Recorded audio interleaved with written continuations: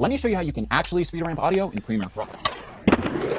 So it's no secret that speed ramping audio in Premiere Pro is a pain to say the least. But here's a workaround that actually makes sense. First, I'll make sure to unlink the video from the audio. Then I'll right click this FX icon, go down to time remapping and select speed. Next, I'll go to the moment I want the slow-mo to start and I'll use the pen tool to add a keyframe and then I'll add another where I want the slow-mo ramp to end. Now on our audio, make a cut exactly where our two video keyframes are. Then I can just drag this line down to slow my footage down to around 50% speed. Now, as is the main issue with speed ramping in Premiere, you'll notice the audio doesn't slow down with our footage. But not to worry, we'll fix this in a moment. Next, we just need to grab these handles and ramp our video slow-mo. Then move our last audio section to the right and make sure it lines up with the last ramp handle here. From there, we can use our rate stretch tool to slow down the audio until it reaches the following audio clip like so. Now this is where the fun starts. Search for the effect pitch shifter and apply that to the slowed down audio clip. Then we can open up this individual parameters tab and create four keyframes for transpose audio that line up exactly with our video speed ramp handles. Set the value of the second and third keyframe to 50 to match our 50% slow-mo speed and ease the keyframes in and out. Finally, I find it helps to add a crossfade on the audio clips as well like this.